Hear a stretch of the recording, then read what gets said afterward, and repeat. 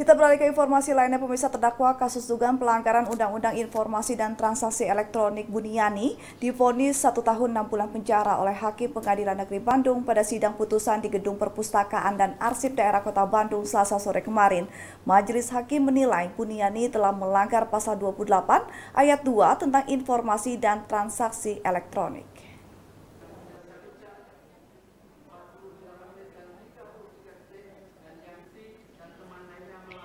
Sidang kasus dugaan pelanggaran Undang-Undang Informasi dan Transaksi Elektronik atau ITE dengan terdakwa Buniani kembali digelar di Gedung Perpustakaan dan Arsip Daerah Kota Bandung Selasa sore dengan agenda putusan.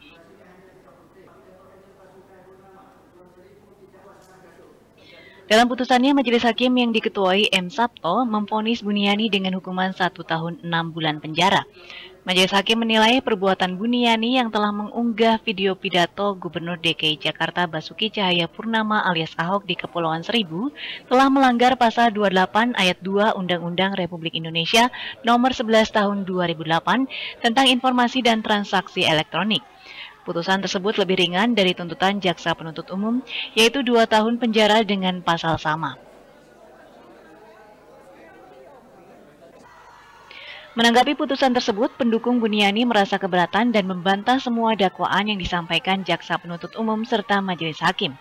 Mereka menyebut Buniani tidak bersalah dan akan mengajukan banding. Kepada Buniani, karena terbukti Ahok kalau nggak dihentikan itu bisa mecah belah umat beragama makin parah lagi gitu. Untung ada Buniani yang mengingatkan secara dini bahwa Ahok itu punya potensi yang luar biasa untuk memecah belah agama. Nah, karena itu sesungguhnya loh kalau kalau saya sebaiknya di, di apa di dibatalkan.